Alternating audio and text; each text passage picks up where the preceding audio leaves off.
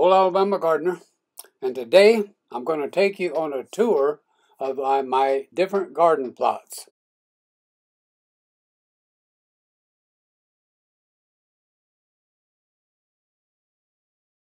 Now first I'm going to look at the green beans. As you have seen me making videos on, I've been canning green beans from these two rows right here most of the summer. I've canned 135 pints of green beans. And now it's time to let these green beans grow on up and begin to uh, reach the stage of maturity, what we call shell out beans. Now this variety is called rattlesnake pole beans.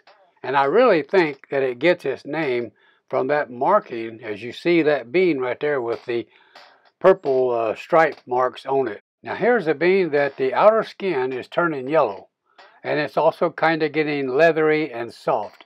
I'm going to shell it open for you so you can see what it looks like when we call it being at the shell out stage. Now you notice that the beans inside, they're fully plump. They're almost a little bit of a gray looking color with white specks on them. So that means that they're mature. They're ready to uh, go into the uh, shell out stage, let's say you wanted to can them this way. You could shell these out and can them as shell out beans. The hull, of course, is far and away too tough. You'd throw that away. But they are not yet at the stage of being dry enough to harvest for saving seed for next year. Now you may remember I had some garlic growing here. So I've left one uh, plant to produce this flower head. I'm going to let it go all the way to making seed and then we'll see what we can do with the uh, garlic seeds. Now this next row is a, um, a row of volunteer. In other words, they came up from seed by themselves of uh, uh, Sweet 100 cherry tomatoes. And actually they're just now starting to uh, produce.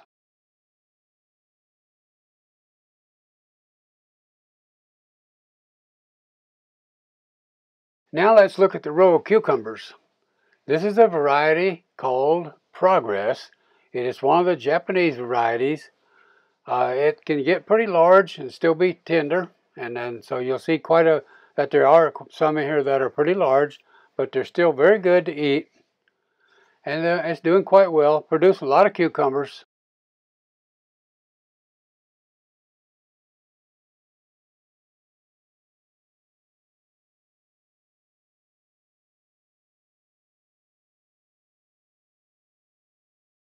Now let's go look at another row of cherry tomatoes. These are called Sweetie. Uh, I bought a seed pack off of a rack at the store, planted the seeds, and then eventually set the plants in here.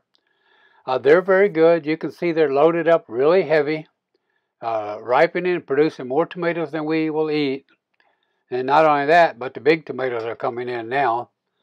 But these are good and they grow really, really well. Next, let's look at the eggplant.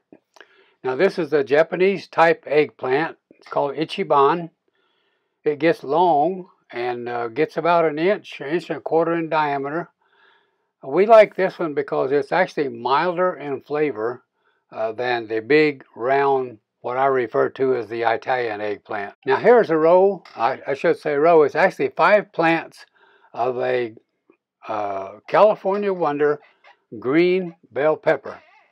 So I ordered these seeds, started these seeds from seed back in uh, March or early April, transplanted the plants out here, and uh, you can see as I open up the vines there, there's some nice green peppers in there, and they are the sweetest, best green peppers I have ever, ever grown.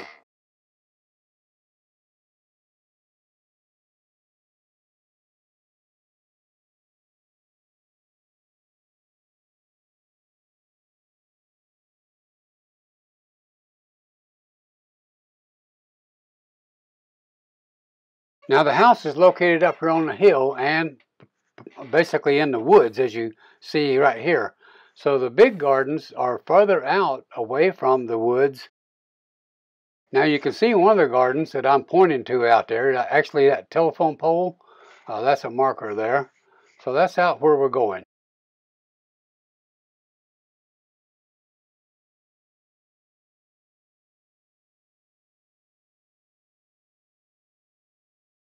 Food that we come to out here is a patch. They've kind of grown up, but it is a patch of thornless uh, blackberries. And of course, they get large uh, and they're real sweet.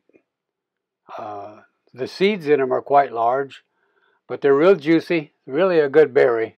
So this is one of three big gardens.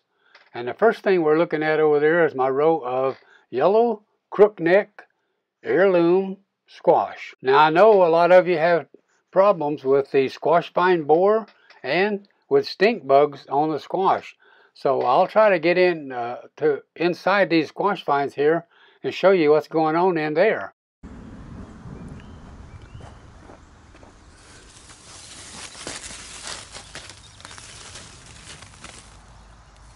Now what I'm looking to show you is do you see any stink bugs down in there? You know, usually around squash, you see a lot of stink bugs. I don't see any. Yep, it's thundering. No stink bugs. If there were stink bugs in there, and I do this, they would be moving and coming around. You could see them crawling, getting out of the way. Nothing in there.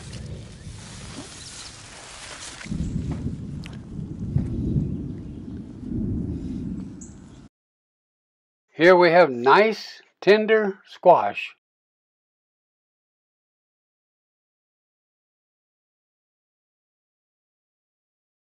Now over here, other side of the squash, I've got two rows of pinto beans. Uh, these rows are about 65 feet long. So when those two rows come on, they're going to produce a lot of good pinto beans for us. Now let's go over and look at our two rows of uh, tomatoes. This is a variety called Better Boy. It's actually one of the better varieties I think that you can grow. They load up good. They have a good flavor. They're pretty disease resistant. So as you see, uh, in this particular shot right here, I have a pretty good load of tomatoes in there. And there is no blossom end rot on these tomatoes. And I have not yet found a single, not even one, horn, uh, tomato hornworm. Now what I'm gonna, what I'm gonna try to do, come on rain. what I'm gonna try to do is I'm gonna try to count the tomatoes on this vine. So let's get in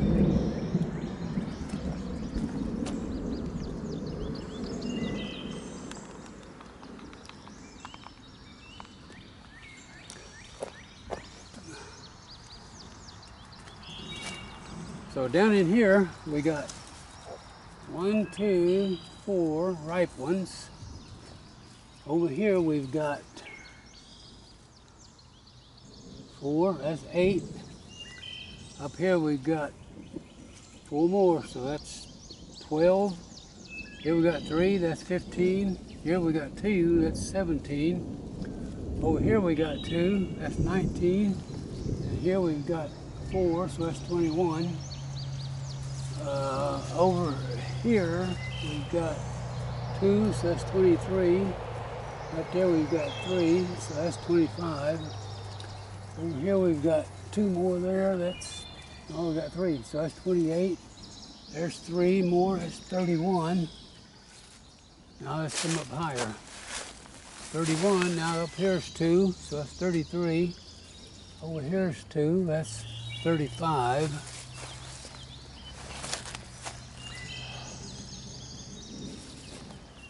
All right, so we got 35 ripe and green tomatoes on this plant. And up here in the top,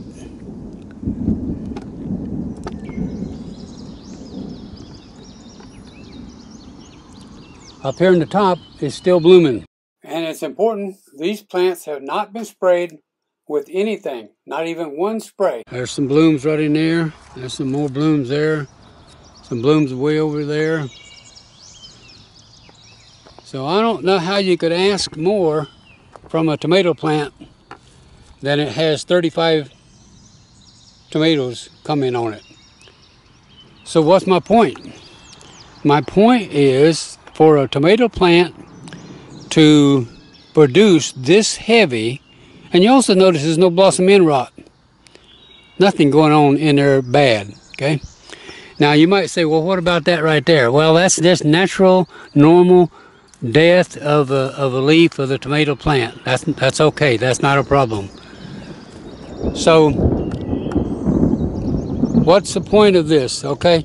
You got to feed that tomato plant down there at the roots, and you got to feed it well, and you got to feed it heavy to have it produce that kind of fruit. And of course, this is what you're looking for, ripe tomatoes. There's one, two, three, four, five, there's six tomatoes in that cluster. So we got this row over here, and we got this row over here coming. Now we'll go over here and look at my wife's vegetables. This is called bitter melon. You can see them down through there, hanging down, getting bigger.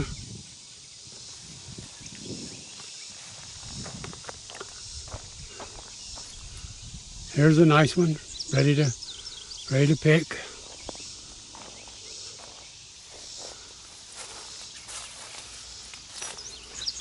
There's a really a nice one there, ready to pick.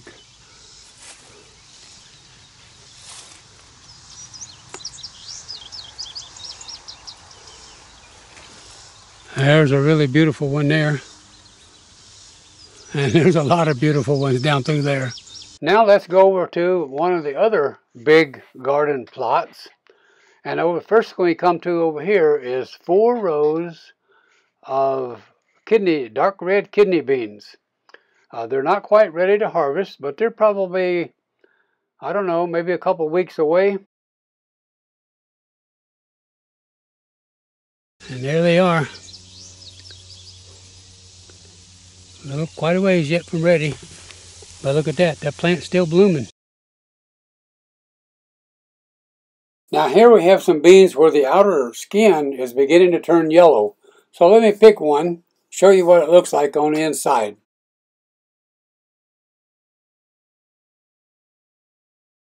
Show you what these red, dark red kidney beans look like when they're getting ready.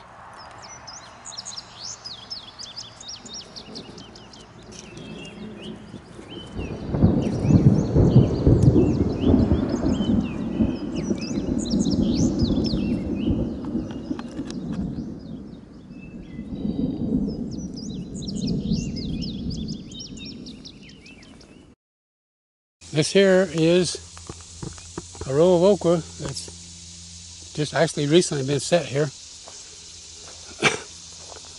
this is a row of green bell pepper. Everything is struggling because of the heat.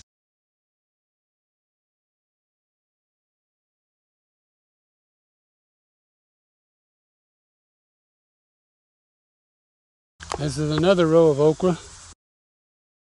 I put these wire cages on so I can keep the deer from eating the leaves off of the okra stalks. And yes, I need to get in here and get the grass out from around these okra plants, but I'll get to it. Now I'm going to show you a plant that comes up wild and uh, and I can eat it. I can just harvest it while I'm out here messing around in the garden and it's just plain old wild blackberries. Now these are not thornless. They, these will grab your clothes and grab your skin. Uh, they're not very big, but if you get them when they're really, really ripe, they're nice and sweet. Makes a good blackberry cobbler. Now we're heading out to the third big garden plot. And I'm going to show you three rows of black eyed peas.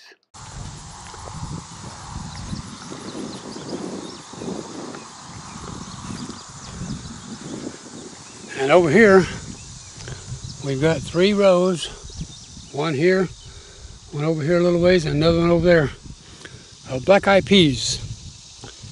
And you get down here close, you can see they're coming out of the ground. Now let's go up this way.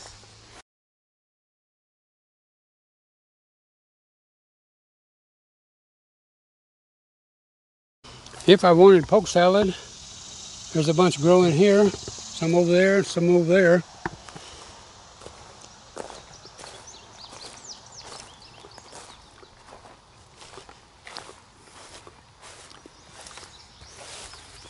Let's get in here.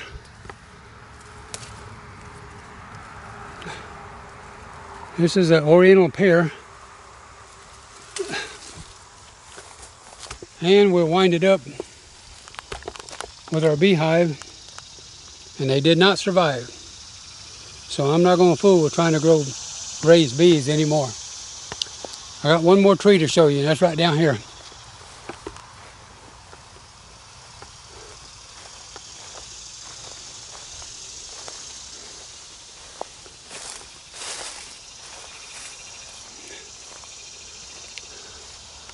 This is a Japanese persimmon.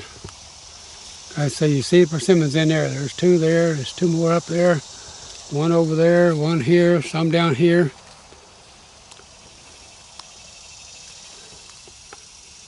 Look how nice and cool it looks up there toward the house is. So let's get up there.